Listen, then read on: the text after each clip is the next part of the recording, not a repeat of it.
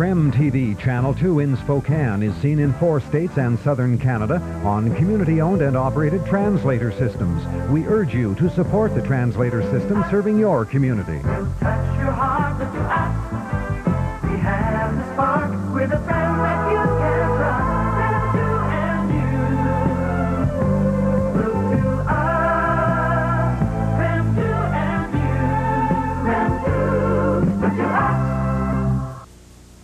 Captain Newman, MD, Saturday night at 1135.